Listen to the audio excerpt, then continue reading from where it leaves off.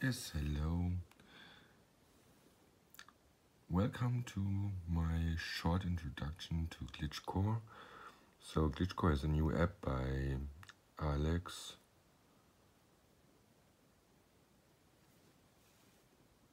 And um, yeah, you can see it is pretty straightforward. We have um, pad here with uh, 16 steps. And um, also we have uh, 16 different positions. And um, this means that if you simply want to draw a line then um, you can see this is um, coming from the first step to the 16th step in 16th notes. And um, the position on the x-axis is the position position in time and um, the position in the y-axis is uh, the sample from the from the sample. So the the part which you will hear. And um, so at the moment nothing is running and therefore the the input yeah which is filtered here just from DigiStix uh, is empty. There's nothing coming in so uh, there's nothing to be played.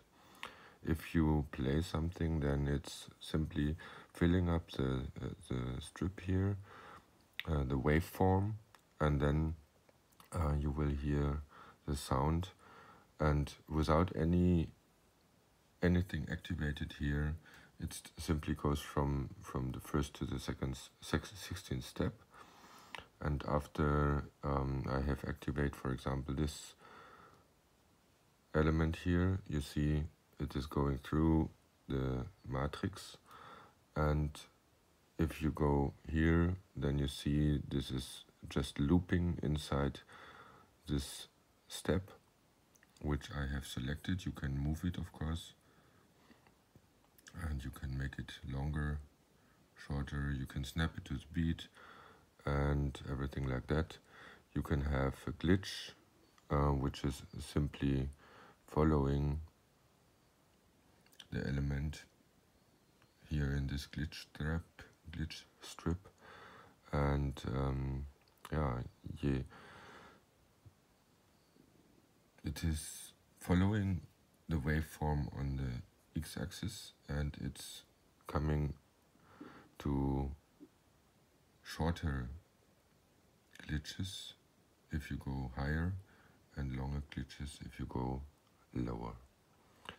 So then uh, you have a reverse button, then the waveform goes in the right direction and uh, you have a freeze button where you can freeze this if you have live input, for example, then you can freeze whatever 16, um, 16 4 bars you want to freeze.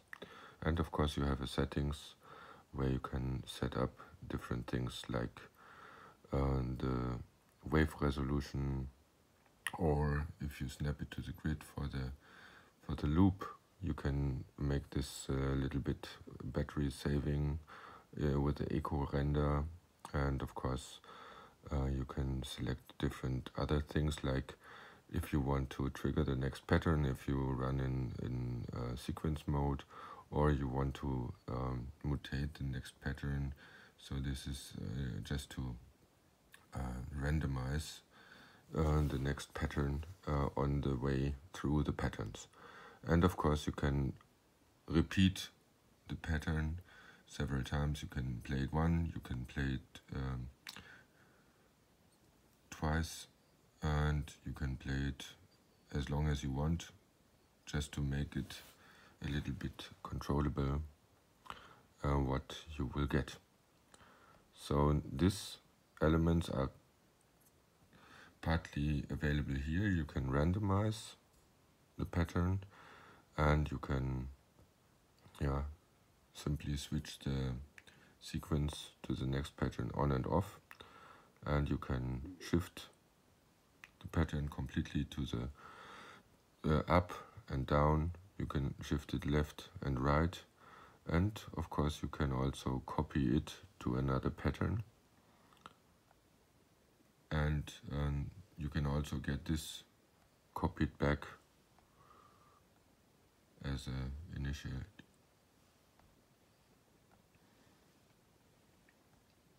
so there are also many many presets available so for example if you go for init then you will get exactly that so you can you can randomize it and then you simply init then you will get everything as it is basically set up for the good start. And of course, as I shown before, you can also delete the whole pattern with one tap.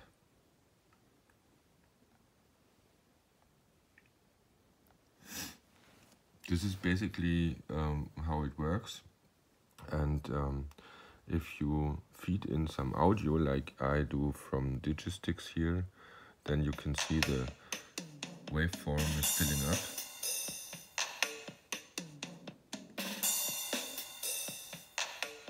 I have a yeah, 4 bar loop, 16, 16 notes. And to demonstrate how the loop is working you can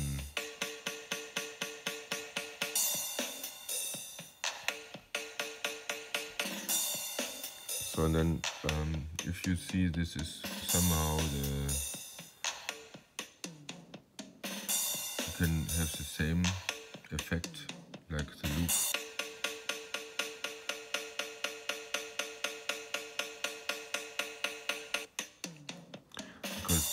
this is exactly this position and uh, therefore you can you can simply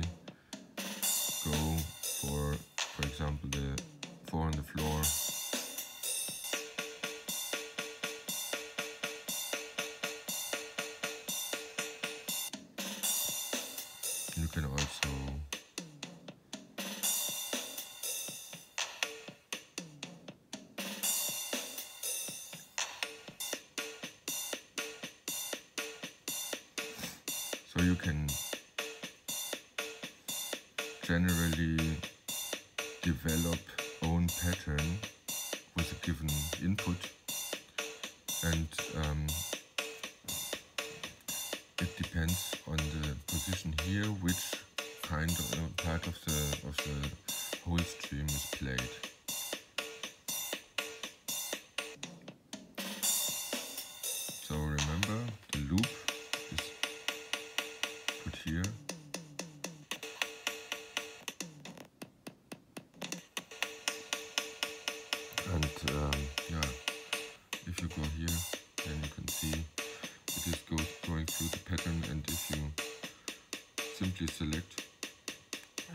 The same step then it's similar to looping.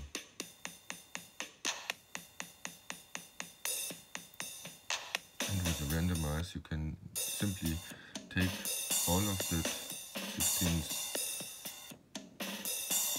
notes to play it.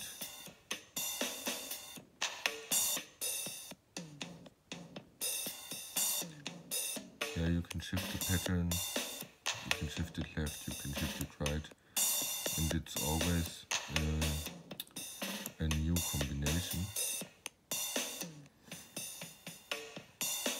And uh, if you if you want to go through this pattern, then you simply activate it here, and then it steps through the eight patterns which you have available.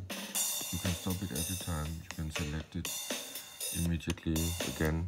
So if you if you prepare the pattern um, as you like, then you can have a whole song built up with eight uh, patterns and then um, play it one after the other. With the copy pattern uh, functionality, you can you can have, uh, for example, the first and the fifth pattern the same, and uh, then you have uh, the one, two, three, four, and then the one, six, seven, eight, for example. You can um, and have a lot more fun if you go here and glitch or use the glitch strip for um, really fantastic glitching effects. Like uh, you can go on the timeline of the wave and you can see, okay, this is pretty much uh, 16th note. So if you go up, it's increasing the tempo, so the frequency of the glitch.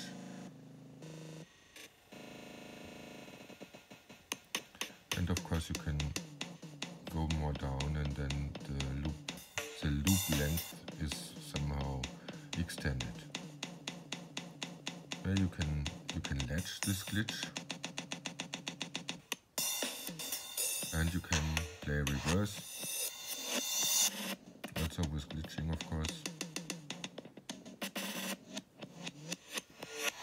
and if you have a live signal coming in you can freeze it so in that case it yeah it isn't only to see um, if you switch it off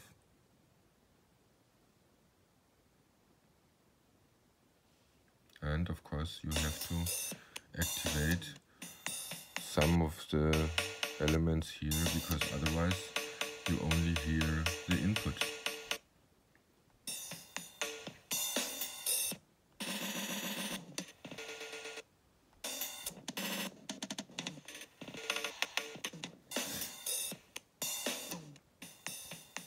So you can use all different kind of audio inputs, of course, and um, yeah, the effect is always remarkable.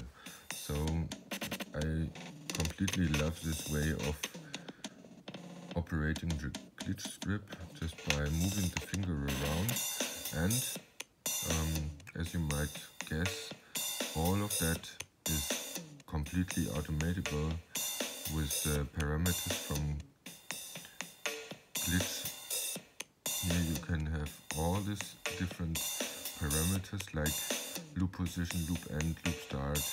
You can make the glitch uh, on and off. You can you can have, uh, for example, this freeze uh, button, the reverse button. You have the glitch slice to move um, up and down.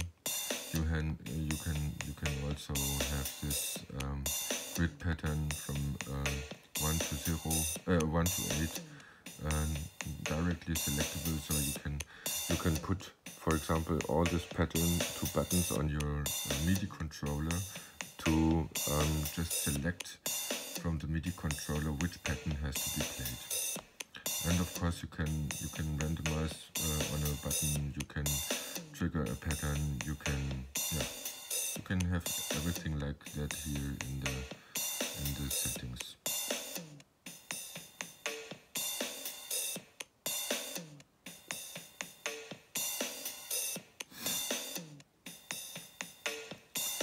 yeah, that's basically it.